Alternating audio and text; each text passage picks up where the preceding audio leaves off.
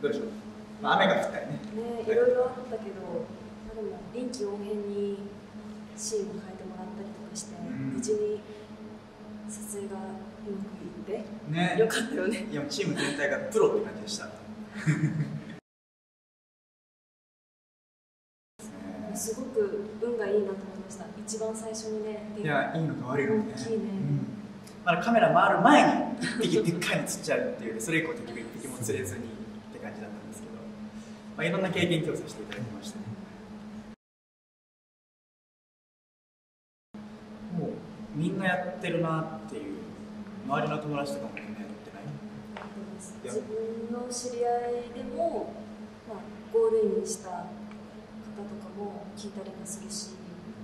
すごい身近な存在ですよね。うん。すごいポジティブな印象です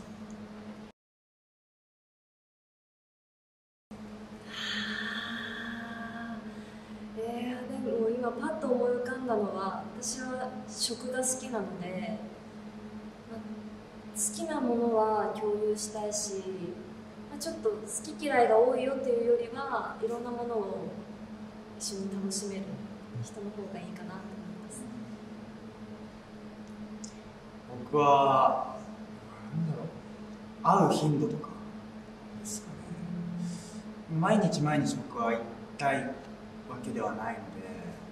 毎日会いたいっていう方だったら多分逆に寂しい思いさせちゃうなとかそこ大事かもしれないですね。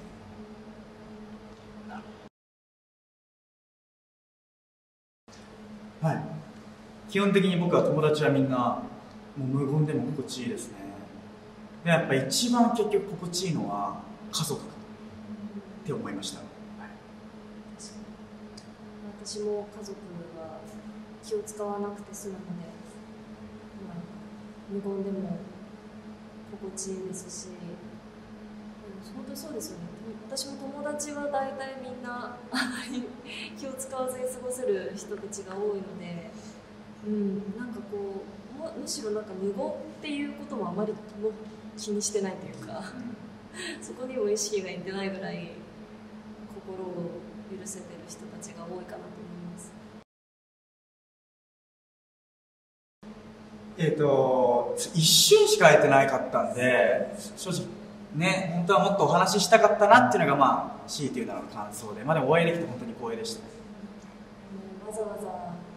来ていらっしゃって本当にもうありがたかったですし天候もねあんまり良くない中来てくださったので、ねああとテレビでずっと見ていた方を目の前で見れてちょっとミーハー心が すごく嬉しかったですなんか明るくてポップでその曲調に合わせてなんか「私のままでは」っていう曲ですよね。でなんか、あのーありのままの自分でいいみたいな。なんかみんな恋愛する時って自分繕っちゃうみたいな時あるじゃないですか。僕もそうなんですけど。なんかやっぱ繕わないでありのままの自分で恋愛していいんだって思ってなんか恋愛したくなりました。私もあのシシャモさんの曲曲を先に聴かせていただいて絵コンテとかよりも先にそちらを先に聴かせてもらったのであのすごく曲が頭の中に入っててこうなんだろう映像になった時にとてもイメージしやすかったというかタイトルからもそうですしもうこの Wiz の価値観でマッチングするっていう部分とすごくめちゃくちゃ合ってる楽曲だなっていうふうに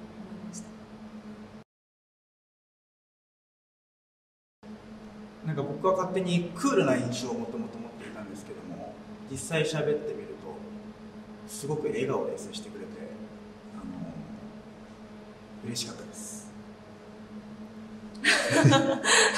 すごくあのお話ししやすくてこうお会いしてすぐに釣り堀のシーンから今日もスタートしたんですけどこう設定上もマッチングアプリでマッチングしてこうデートに行くっていうれは3回目のデート。2回目か。ミカさんにねあの何回かお会いした後のデートのシーンから、えー、と最初始まったんですけど。なんかそこでもすごく、うん、居心地のいい空気感を作ってくださったので助かりました。いやいやこちらこそです。実は途中から勝手にタメ口に変えたりしたんですけどそれが怒らずにタメ口でタメ口で返してくれたんでよかったです。すごいいい相性なのすごい見てて伝わってきました。最後、えっと、今回の CM の中で、えっと、もう会う人だけと出会いたいというフレーズが印象的だったかと思うんですけれども、えっと、今回趣味が合う以上に価値観でマッチングできるアプリ Wiz というところでその価値観でマッチングできるという部分の印象を教えていただければと思います